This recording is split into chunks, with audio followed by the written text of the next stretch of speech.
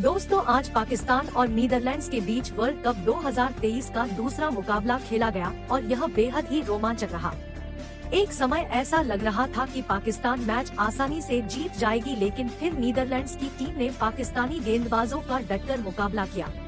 इस वीडियो में हम आपको इस रोमांचक मैच की पूरी हाइलाइट्स बताएँगे तो इस वीडियो को अंत तक ज़रूर देखें। दोस्तों, इस मुकाबले में नीदरलैंड्स ने टॉस जीतकर पहले गेंदबाजी करने का फैसला लिया और पाकिस्तान की शुरुआत बेहद खराब रही।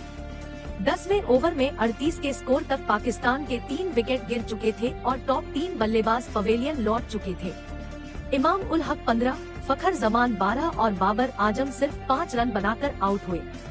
यहाँ से मोहम्मद रिजवान ने सौद शकील के साथ टीम को संभाला और चौथे विकेट के लिए 120 रनों की साझेदारी निभाई दोनों बल्लेबाजों ने अड़सठ रनों की पारी खेली और टीम को 150 के पार पहुँचाया। लेकिन उनतीसवे ओवर में एक सौ अठावन के स्कोर पर शकील के आउट होने के बाद नीदरलैंड ने मैच में फिर से वापसी की पाकिस्तान का स्कोर तीन विकेट पर एक सौ अठावन रन से बत्तीसवे ओवर में छह विकेट पर एक सौ अठासी रन हो गया और रिजवान के अलावा इफ्तार अहमद भी आउट हो गए। आपको बता दें कि इसके बाद मोहम्मद नवाज़ ने शादाब खान के साथ सातवें विकेट के लिए चौसठ रनों की साझेदारी निभाकर टीम को 250 के पार पहुँचाया, लेकिन चवालीसवे ओवर में दो सौ बावन के ही स्कोर पर दो गेंदों में दो विकेट गिरने से नीदरलैंड की टीम ने फिर से मैच में वापसी की। आपको बता दें कि सैतालीसवे ओवर में दो सौ सड़सठ के स्कोर पर पाकिस्तान को नौवा झटका लगा और मोहम्मद नवाज़ रन आउट हो गए। हरीश राव और शाहीन आफरीदी ने टीम को 280 के पार पहुँचाया, लेकिन उनवे ओवर की आखिरी गेंद पर के आउट होने से पाकिस्तान की टीम एक ओवर शेष रहते ऑल आउट हो गए। वहीं नीदरलैंड्स की तरफ़ से लीड ने सबसे ज़्यादा चार विकेट लिए। इसके अलावा लक्ष्य का पीछा करने उतरी नीदरलैंड्स की शुरुआत अच्छी रही। दोनों ओपनर्स विक्रमजीत सिंह और मैक्स डोर ने टीम को अच्छी शुरुआत दिलाई। पाँच ओवर में दोनों ने तेज़ी से बल्लेबाजी करते हुए लगभग तीस रन ठोक दिए थे। लेकिन फिर छठे ओवर में हसन अली ने मैक्स ऑर्डर को आउट कर पाकिस्तान को पहली सफलता दिलाई। वहीं फिर बारहवें ओवर में इफ्तार अहमद ने कॉलिन एग्रीमेंट को आउट कर क्लीन बोल्ड कर पाकिस्तान को दूसरी सफलता दिलाई।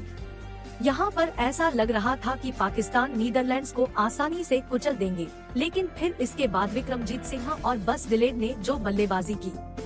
जी हाँ इन दोनों ने जो बल्लेबाजी की उसने पाकिस्तान की टीम को दबाव में डाल दिया तो उन्होंने बड़ी शानदार अंदाज से बल्लेबाजी की और पाकिस्तान की गेंदबाजों के पसीने छुड़ा दी शाहीन आफरीदी और हैरिस रॉफ जैसे गेंदबाजों भी जिया इन दोनों बल्लेबाजों के सामने विकेट के लिए तरस गए।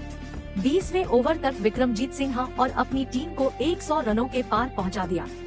कई वीर विक्रम सिंह ने अपना शानदार अर्धशतक भी पूरा कर लिया, लेकिन फिर चौबीसवे ओवर में नीदरलैंड्स को तीसरा झटका लग गया।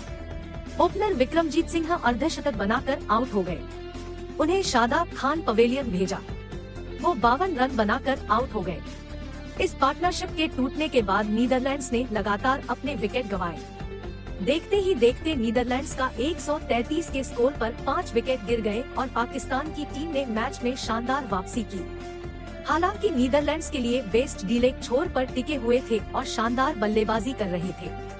देखते ही देखते उन्होंने अपनी 50 भी पूरी कर ली और नीदरलैंड्स को जीत की ओर ले जा रहे थे।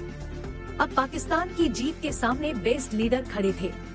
अगर पाकिस्तान को यह मैच जीतना था तो उन्हें बेस्ट लीडर को उनकी विकेट की सख्त ज़रूरत थी। लेकिन बेस्ट लीड ज़बरदस्त लय में दिख रहे थे और ऐसा लग रहा था कि वह अपनी टीम को जीत दिलाकर ही रहेंगे। लेकिन फिर चौतीसवे ओवर में मोहम्मद नवाज़ ने बेस्ट लीडर को क्लीन बोल्ड करके पाकिस्तान को सबसे बड़ी सफलता दिलाई। आपको बता दें कि बेस्ट डील ईडी ने सड़सठ रनों की शानदार पारी खेली। 170 के स्कोर पर नीदरलैंड्स के साथ विकेट गिर चुके थे और आखिरी 15 ओवर में उन्हें जीत के लिए 119 रनों की ज़रूरत थी, जो कि यहाँ से काफ़ी मुश्किल दिख रहा था। लेकिन यहाँ पर मानना पड़ेगा नीदरलैंड्स पाकिस्तानी गेंदबाजों का उन्होंने डटकर सामना किया और उनके पसीने छुड़ा दिए। दोस्तों, आपके हिसाब से इस मैच के टर्निंग पॉइंट क्या था?